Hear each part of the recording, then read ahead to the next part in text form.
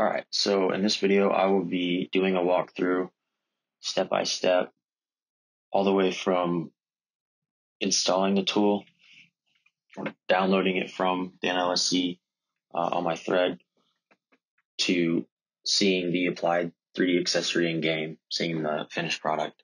The accessory that I'll be doing is one of the global accessories, uh, one of the face masks that is included in the files uh, in the directory. Um, and so right now I'm just at the NLSC forum um, and I'm in the NBA 2K19 forum.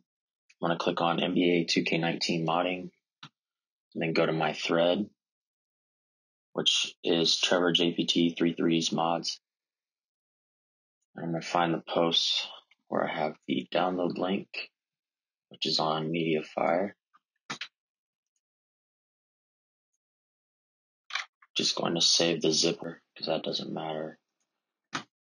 Um, but the important part is where we save once we unzip it or once we um, once we open it up in 7-zip. The important part is where we actually drag the folder, uh, the directory for the tool. So I'm going to grab this, open it up. And so what you want to do is um, you want to um, you want to go to the drive, whether it's C, D, or whatever. Uh, in my case, it's the C drive. Um, the, the drive that you have Windows or your operating system installed on. And I believe it should have like this. It should have like a little Windows icon above the drive where it doesn't on these. Um, but so you want to click on that drive where your uh, operating system is installed go to users and then your name, whatever your name fold, uh, whatever your name is, um, click that folder and then directly in that folder, which is also called like your home folder, but it's just users, your name. And so you want to drag this NBA 2K 3D tool folder directly in to there. And now that we have that, I'm going to go ahead and delete the files because there were some example files that came with the release. Uh, but just to start from scratch, just to show you the full process, um, I'm going to go ahead and just delete them. So, um, so the first thing you want to do is you want to find the 3D accessory that you want. And like I said, in this case, we'll be doing the uh, in the global accessories, we'll be doing uh, one of these face masks. Um, and so you want to select those, uh, select the scene file for the accessory and the model file, control C to copy.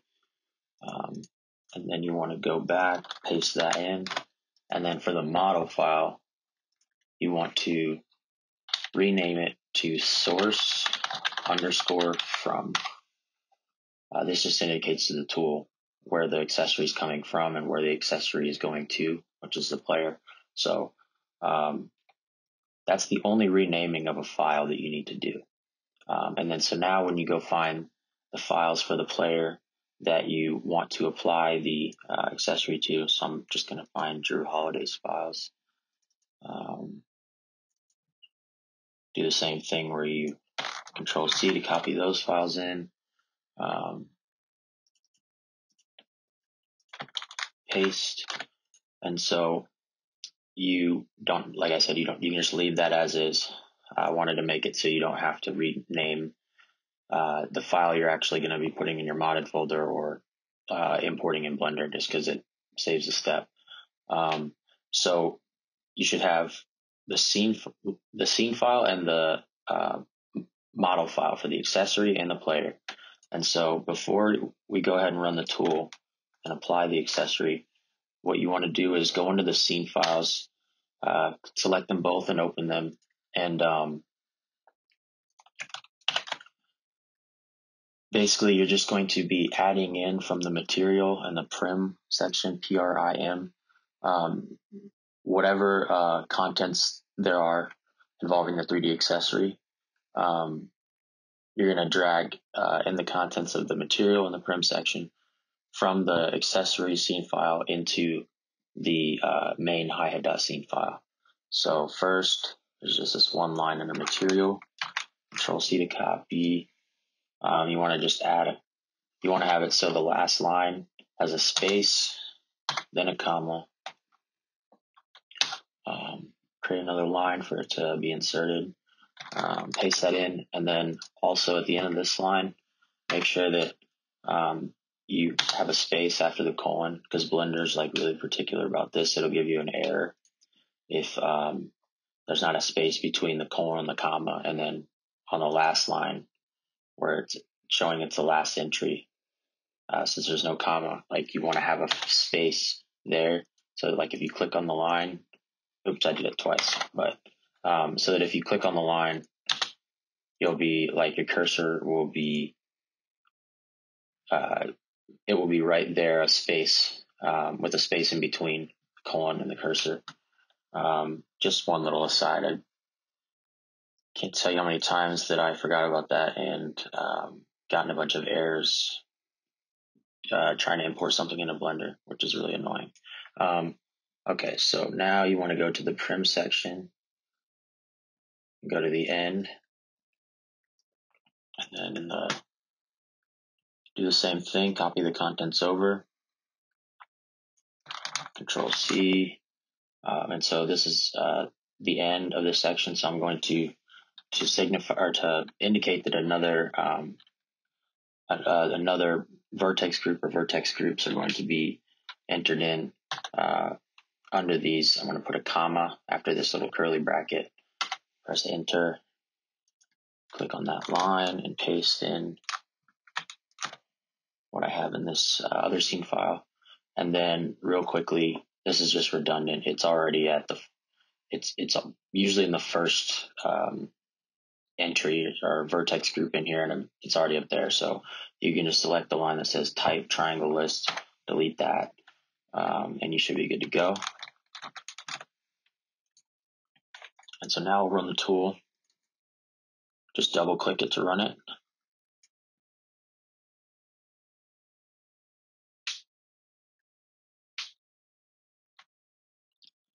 And so ignore all this for now. Um,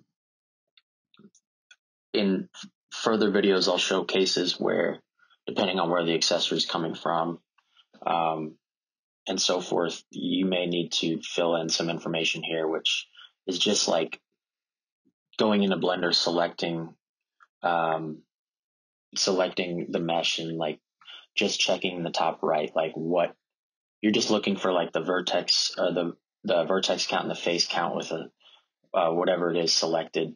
Um, so um, in some of these cases, like you just you're just telling the tool like if you're selecting um, or if you're applying a 3D accessory from a player's file where the accessory is not in its own file, but not at, or but it's at the end of the the player's file, another player's file.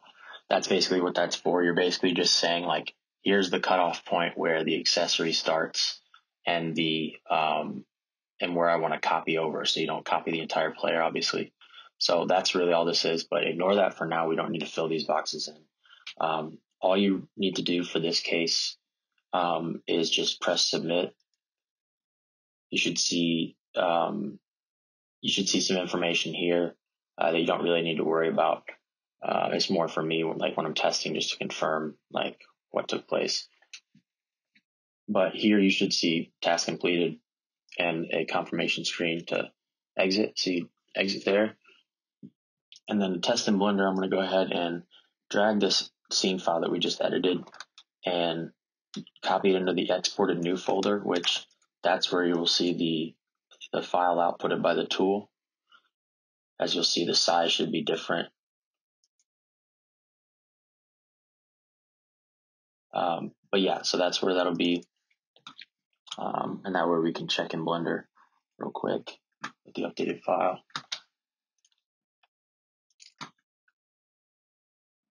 Okay, export new. Okay, so import into here. So you'll see the accessory is applied. Um, and it's not going to fit out of the box unless you just get lucky, just depending on the player's head shape and size and whatnot. But um, I would expect every time to need to adjust it and fit it custom to your player. Um, so it may not look pretty, but it will be there and it will be um, able to be adjusted and fit to your needs uh, however you want. And then, so one quick note while I'm in Blender is to make it easier, I have extended the vertex groups and split them up for this face mask as opposed to just having a vertex group for the face mask itself. And these are for these are the the accessories included with this tool. I've done this. Um, uh, these in specific. So the things like the face masks included with the tool and the other ones, I've gone in and broken them down into smaller vertex groups to make it easier. So that if you wanted to scale it, you're not just scaling the mask or you're not just moving the mask or the, the whole mask.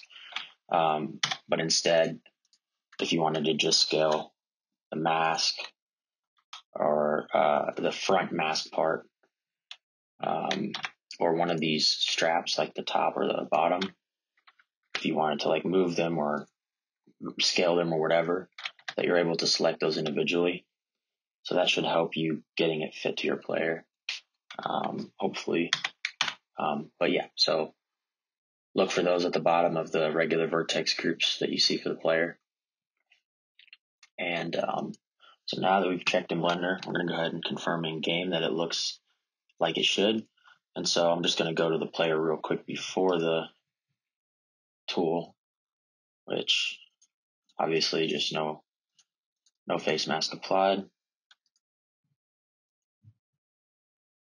And now I'm going to go ahead and drag into the modded folder the files that we just updated here in this exported new folder. And we should see the accessory show up just like it did in Blender.